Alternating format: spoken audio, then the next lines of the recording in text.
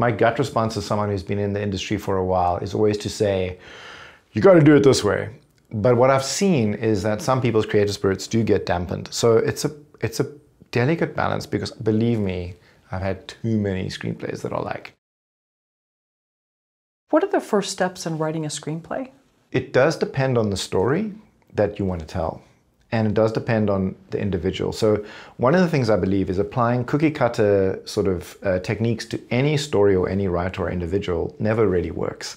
So a lot of books will tell you about like, oh, you've got to um, you know do an outline first, and the outline needs to look like this. This needs to be the first act, second act, third act, cookie cutter, damn, make your thing, and that's it, right?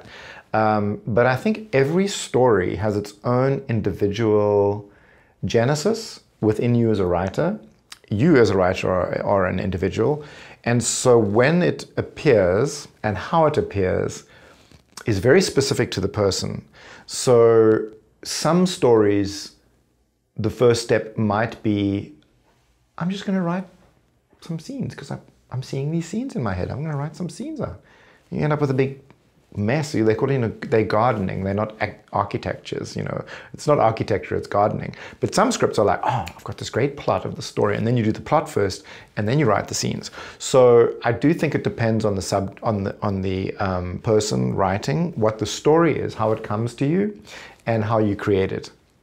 However, I would say that at some point, if you're writing a feature film, actually, even if you're writing a TV series, probably more important if you are writing a TV series scene cards on the walls at some point to plan your story is very important. And that is vital because if you're just gardening and writing scenes for the sake of writing scenes, you're going to just make a big messy garden. At some point, you need to go in there with the you know weed trimmer and just make sure that there's actually a story there because it's grown into this thing and you don't even know what it is anymore. So I'd say the first step for writing a screenplay probably is being honest about yourself, the story you want to tell, and truthful in the way that you tell it.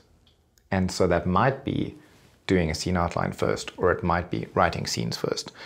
But be honest with it and know that both have their own sort of limitations. But it's to know yourself as a writer, actually, I think is, is important. Okay, if you're a writer for hire, uh, you may not be maybe as into the story. It wouldn't be something that you've mm-hmm. chosen, but you would need probably way more structure at Absolutely. that point. Absolutely. So for many years, I wrote sitcom back in South Africa. I don't know how many episodes I wrote, and that was me being a writer for hire, and that was literally like there's no time for gardening. It's just structure, and I had a co- I had a writing partner. We would meet, we would beat out it, we would do a scene outline, you know, beat by beat, what happens in each scene. We would send it to the production company. They would write back with some of their feedback. We'd do a second scene outline. Then we'd send that back. Then we'd flesh out the scenes there'd be feedback on those scenes, and then you'd have a script. So I think when you're a writer for hire, it is very different. So you, you can't be true to your own creative idea when you're a writer. You can try, but you probably won't get very far. Um, I do think that that's when the structure works. And for me, scene, scene outlines are really good at that point. As a matter of fact, one of the things I found with my students is that a lot of people resist them because they feel unnatural as a creative person. You know, you don't really want to think of everything. I don't know how it's going to end. I'm starting the story. I'm exploring this world. But if you force yourself to do a scene outline, it helps so much because once you've got a scene outline, you can share it with other people and they can give you feedback on it, which is very important. And so you can actually see whether the story works. So I'm contradicting myself a little bit. I'm saying like, yeah, let's be creative writers, but scene outlines, I'm all for them. I think it really helps to just beat through the story. A feature film is a massive beast. We think we can hold it in our heads. We really can't. We have to get it onto the page. So my first sort of gut response when you said, how do you start writing a screenplay? I'm like, put words on a page. Very important. And then put words in a page in a particular order, and then put those words in an order that makes sense for a feature film. And then that's how you write a feature film. That easy. It's easy. it's not easy. Is that how we quote grow up as writers that we are willing to have some structure? Because you know, there's so many creative people and they don't want rules. They don't want to be told what time to show up. Oh, there's going to be these worlds and time travel, but then it's just a big mess. It, it's it's like a big trip somewhere, you know, and it's not really a story. Yeah. I do think that that's where we grow up as writers. Um, I must say there is something that happens that I've seen happen at film schools um, where, and of course at the David Lynch MFA, because David Lynch is our sort of patron, um, we push back against this a little bit, where everyone's like, you've got to do it this way. This is the way to write a screenplay. You know, these are the rules. You've got to be on time. You can't do crazy things with time travel. I'm like, well, David Lynch wrote Ronnie Rocket, which is the script that was never produced, maybe for a reason, because the script's all over the place and it's mad. But he did that, you know. And people are like, well, he did that. I'm like, okay, well, if he did that, maybe you should be able to do it too. So I think that there sometimes the like my my gut response as someone who's been in the industry for a while is always to say, you got to do it this way. But what I've seen is that some people's creative spirits do get dampened. So it's a it's a delicate balance because believe me, I've had too many screenplays that are like, oh, it's in the Jurassic period, and then we flash forward, and it's like, oh my gosh, you have no idea what's going on, do you? Um, so yeah, it's a balance between the two. Actually, I'd say is that, uh, but we do when we grow up as writers, like that fast growing up, I did writing sitcom for those years. That was very fast structure, structure, structure. As a matter of fact, now recently, I've had to actually let go of that a little bit and seen, okay, wait, there's space for the creativity within a screenplay.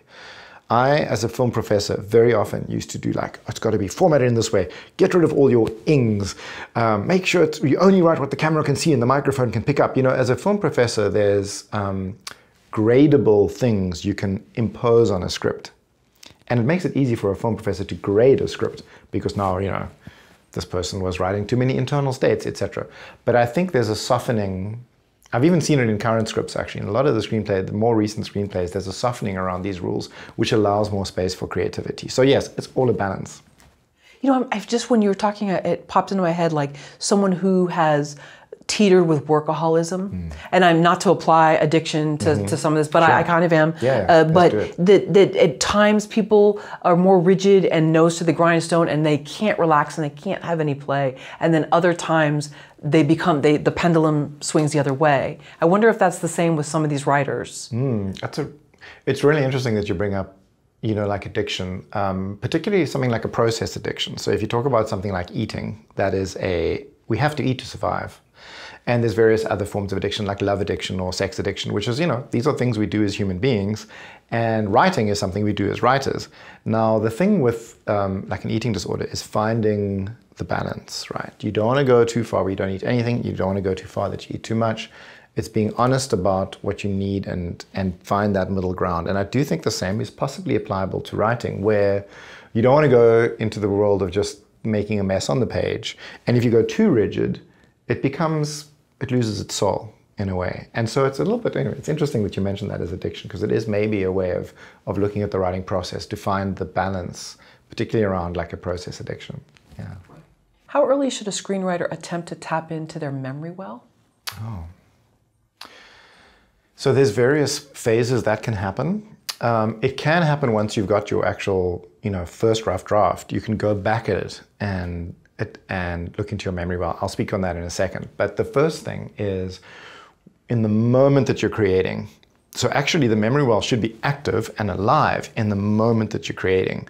So when you're writing a scene that is um, for example, a uh, I don't know. I always use the graveyard scene for some reason, but I'll go back there. Is you know you're setting a scene in a graveyard, or if you know someone's being buried, and you could just write make things up from all the other worlds, movies that you've seen. You could make something up, or you could think about huh, wait a minute, what graves have I seen in my life? What graveyards? Oh, there was that one in a desert somewhere. Oh, that was quite cool. And, and then so, and then you write from that perspective. Or if you're writing a scene where somebody wins, like Wimbledon or something, and you think, wow, that character's feeling really happy right now. How do I get myself as a writer into that happy space to be able to express that feeling of happiness? I can imagine myself into a character. That's what writers do. It's the magical thing that we can somehow do. Or I can think about when was I really happy? Oh, I was sailing that boat and there was water everywhere and the sun was glistening. And oh, let me write a scene where the sun's glistening in Wimbledon and he takes the water and he pours it over his head and it's like, yeah, I've won Wimbledon. And, and that emotion, so it is important when writing to access our emotions. And one of the ways we can do that is through the memory well. So as a matter of fact, the memory well is normally applied at the beginning of the writing process and in the moment of creativity. However, there's a second period when you've got a script written then you can actually relook at it and go, okay, I've set the scene in a coffee shop where they break up. Interesting. Hmm. Where was I broken up with before? Oh, in a car. Oh, yeah, on the edge of a. a um, oh, why did they break up in a car? Would that be better for the story? Oh, it would actually, because they can park the car and then the sea's in the distance and he's a long distance swimmer. I don't know, making something up here. But you know, you can then reapply your memories to each scene actually to make the location of each scene better or the emotion in each scene better. So yeah, it kind of happens on both ends of the creative uh, spectrum if you're willing to go there. Sometimes, by the way, all of these things happen absolutely naturally for a writer, most of the time. But if your script is lacking a little something and there's not, and you're not resonating with it, and the readers aren't resonating with it as much as you'd like, you can definitely consciously, actively go into your memories and try and infuse each uh, scene. So a friend of mine, uh, or a friend, actually he's a friend now, but he's an ex-student. He wrote a scene uh, where these characters were meeting, and he thought they're meeting in a I don't know where they were, some random place. And he said, Oh, a restaurant. He remembered ordering off the kiddies menu when he had no money because they were very poor. And he put that in the scene and it worked so well. Suddenly, it, the scene had something fresh that I'd never really seen before where these, they, they try and order off the kiddies menu. You can't order that because you're not a kid or whatever. And there was a funny scene, but, but it spoke to the poverty that the characters were in. So that's how it works.